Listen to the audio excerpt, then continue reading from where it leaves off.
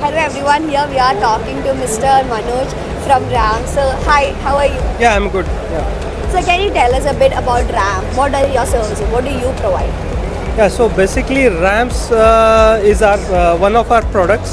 So uh, our parent company is uh, iNODE Software Company. So what this does is its uh, its total focus is on civil engineering uh, sector. So digitizing civil engineering sector. So uh, in this, RAMS is a product that we have come up with. Uh, the, what this product does is it's uh, it automizes, digitizes the ra- uh, rack uh, inspection and uh, safety.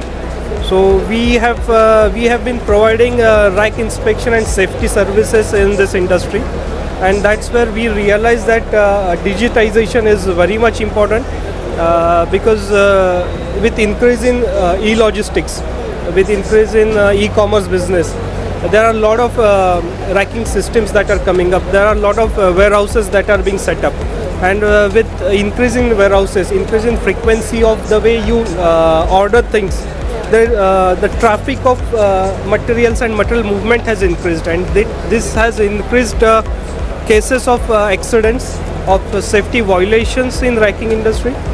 Now, what we have come up with a uh, digital solution wherein safety officers can easily use this software. Uh, they can uh, monitor safety of racks.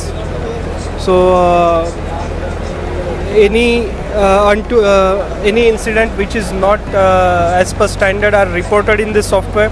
The software recommends the solutions, and overall safety management can be done through this software. How important do you think digitalization is right now, like in every industry you go? Uh, see, now uh, when we say about digitalization, uh, in India we have been practicing a lot of things manually.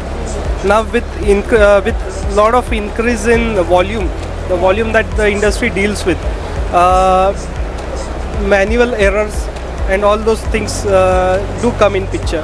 Now for enhanced uh, safety or enhanced production, digitization is what we have to go through. What is your take on the current Indian manufacturing industry, and how is how important is Make in India? See now, uh, if, if you see traditionally, India was a traders in uh, traders country, wherein we used to um, import products and then trade them. Now with this uh, Make in India initiative, our perception has changed. Now we are uh, from being a traders country, we are going ahead with uh, a developers country, wherein we'll be, uh, wherein lot of companies are coming up with their own products.